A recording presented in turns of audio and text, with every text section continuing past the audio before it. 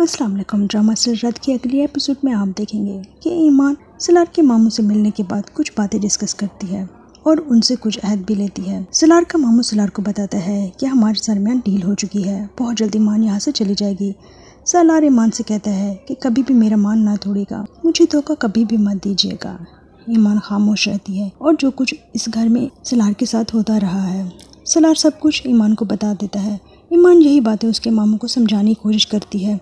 और कुछ वक्त भी मांगती है। लेकिन उसके मामू को बहुत ज़्यादा जल्दी होती है कि वो इस घर से बहुत जल्द रुखसत हो जाए। वो ये घर छोड़कर चली जाए, उसे जो भी चाहिए, उसे दे दिया जाए। जब ईमान के सामने जायदाद की पेपर से रखता है उसका मामू तो कहता है, तुम जो चाहे यहाँ से ले सकती हो, अपनी मर्ज़ी से लिख लो और फिर डिवोर्स लेकर चली जाओ। वो सारी डिमांड कर देती है, जो कुछ भी सलार के नाम होता है।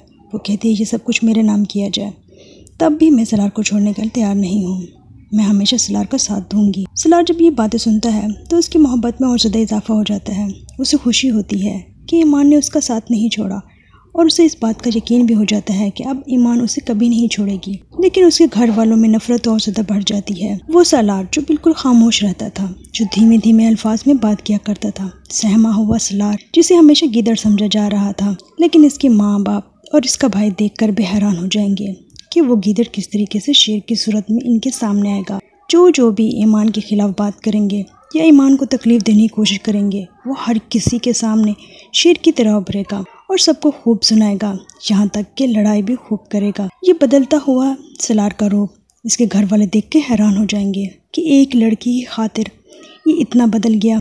दूसरी तरफ़ जैन अपनी बानो आपस से कहेगा, ईमान की वजह से मेरा पूरा घर बर्बाद हो गया। यहाँ तक कि मेरी माँ मेरे गम में चली गई है और मैं जितनी भी कोशिश करता हूँ ईमान से नफरत करने की, मुझे वो बार बार याद आती है। मुझे उससे नफरत नहीं होती, बल्कि मोहब्बत में इजाफा होता जा रहा है। बानो आपस में समझाती है कि हो सकता है ईमान को कोई गलत फहमी हो। इस वजह से उसने ये सब किया हो तुम्हें जाकर उससे बात करनी चाहिए। जैन जब ईमान से मिलने के लिए आता है तो वो हैरान हो जाता है कि ईमान ने तो उसका इंतज़ार ही नहीं किया। उसने सलार से शादी कर ली है।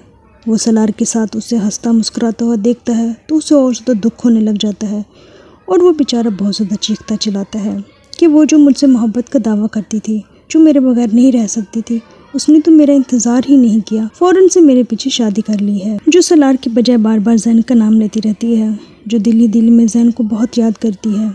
उसके सामने जब सैम आके खड़ा हो जाएगा तो क्या वह दोबारा जैन की तरफ़ पलटेगी? उसकी भूली हुई मोहब्बत दोबारा से जाग जाएगी। आखिर क्या करेगी ईमान?